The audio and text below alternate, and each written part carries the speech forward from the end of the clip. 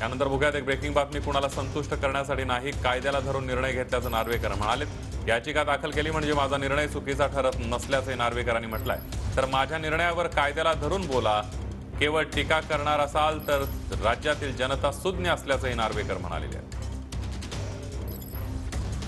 की कोणाला संतुष्ट करण्यासाठी हा निकाल दिलेला नाहीये कायद्याला धरून हा निकाल दिलेला आहे. कोणताही नागरिक हा सर्वोच्च न्यायालयात किंवा उस- उच्च न्यायालयात आर्टिकल टू ट्वेंटी सिक्स आणि आर्टिकल थर्टी टू खाली निश्चितपणे दाद मागू शकतो.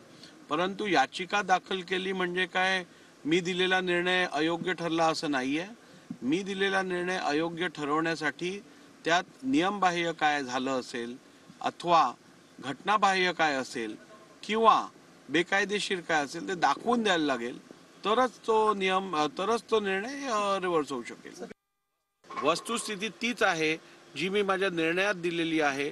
माझ्या निर्णयात काय घटनाबाह्य आहे काय नियमबाह्य आहे काय बेकायदेशीर आहे त्याचा तुम्ही उल्लेख करा ते दाखवा मग आपल्याला पुढे बोलता येईल. परंतु कुठचंही घटना निर्णयातली कुठचीही बाब चुकीची आहे असं न म्हणता जर का ते केवळ टीका आणि आरोप करणार असतील तर राज्याची जनता ही सुज्ञ आहे त्यांना सर्व काही समजतं.